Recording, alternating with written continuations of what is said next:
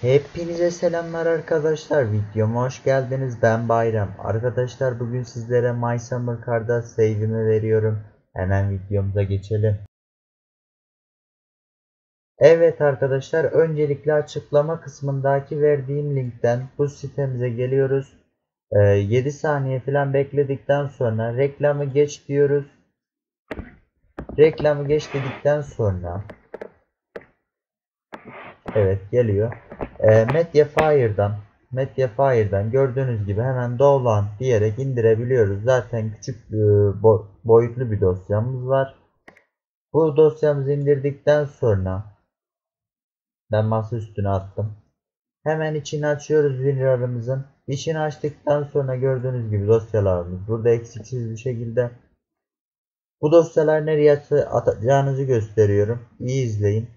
Windows tuşu ile R tuşuna aynı anda bastıktan sonra çalıştır penceremiz açılıyor. Veya nasıl açabilirsiniz bunu bilmiyorsanız e, aratma kısmına çalıştır yazarak da yine aynı şekilde açabiliyorsunuz. Buraya ne yazıyoruz? Yüzde app data yüzde yazdıktan sonra tamama tıklıyoruz. Tamama tıkladıktan sonra app data kısmına geliyoruz. Lokal lova giriyoruz. Buradan emistek kısmına geliyoruz. Daha sonra My Summer giriyoruz. Ve gördüğünüz gibi dosyalarımız burada beliriyor zaten. Şimdi bu dosyalarımızı WinRAR'ımızın içindeki dosyaları seçerek e, dos klasörümüzün içine atıyoruz ve hedefteki dosyaları değiştir diyoruz.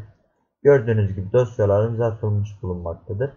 Arkadaşlar şimdi e, o şeyi oyun açarak göstermeyeceğim ama save'imi. Save'imde neler olduğundan bahsedeyim. Save'imde Satsuma çalışıyor. Satsuma'da bir sıkıntı yok. Satsuma e, son sürüm hatta son sürüm save olarak da söyleyebilirim. Satsuma çalışıyor. Bilgisayar var. Yemek sıkıntısı yok. Yani e, yemek bol. Arkadaşlar iyi oyunlar diliyorum. E, videomu yararlı olduğunu düşünüyorsanız ve videomu sevdiyseniz kanalıma abone olabilir, bildirimleri açabilir, videoyu beğenebilir, paylaşabilir ve yorum yapabilirsiniz. Düşüncelerinizi yorumlarda e, paylaşmayı lütfen eksik etmeyin. Arkadaşlar kendinize iyi bakın. Hoşçakalın. Görüşürüz.